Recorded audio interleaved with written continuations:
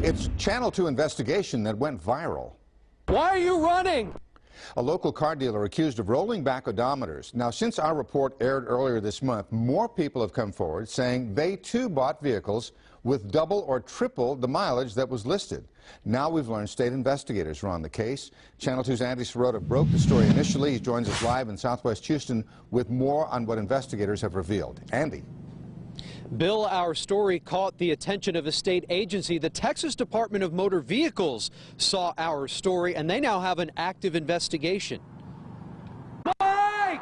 This man we only knew as Mike was caught on camera telling our undercover producer he switched out the odometer on this vehicle. I mean, when I went to the junkyard, I couldn't find the accurate mileage, the one in Carfax, to install it in there. A Tomball man says Mike tried selling him two vans with rolled back mileage. There are some sketchy people out there that are selling cars. The message to those people would be that we are watching, uh, the media is watching, the public's watching, and eventually uh, you're going to be uh, dealing with law enforcement in a case like this. Since our story aired, Texas DMV investigators have been in touch with several people who they say purchased cars with rolled back miles from Mike. We discovered Mike's real name is Iad Casas from this Facebook photo a local title company posted with him. They're open for business, but the door is locked.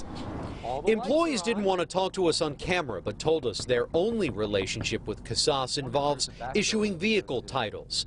Texans Motors Inc., the dealership where Casas was selling cars behind a southeast side strip club, is actually only registered to sell cars in San Antonio. So we're not sure yet exactly what the operation is going on uh, on the Gulf Freeway in Houston. It is not legal by our standards because it's not a licensed location. The mailing address with the DMV for Texans Motors comes back to this Houston home, which also shows up as a residential address for Casas.